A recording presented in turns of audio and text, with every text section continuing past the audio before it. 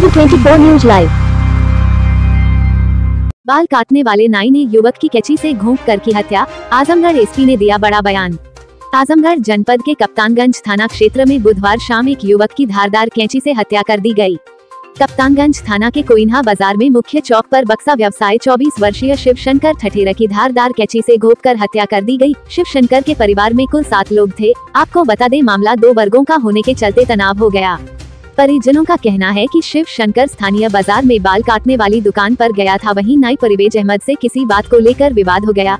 बात इतनी ज़्यादा बढ़ गई कि नाई परिवेज अहमद ने कैची घूम का हत्या कर दी। ऐसे में लोगों ने आनंद फानन में जिला अस्पताल गए, जहाँ कुछ समय बाद उसकी मृत्यु हो गई।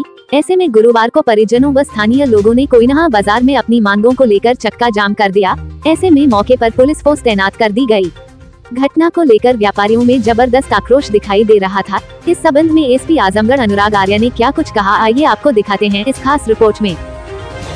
कल शाम लगभग साढ़े सात बजे थाना कप्तानगंज अंतर्गत कोइनहा बाज़ार में मोहम्मद परवेज और शिबू की नाई की दुकान पर पहले बाल कटवाने को लेकर परवेज व शिवशंकर के बीच झगड़े के दौरान परवेज द्वारा शिवशंकर के गले पर कैंची से वार कर दिया गया।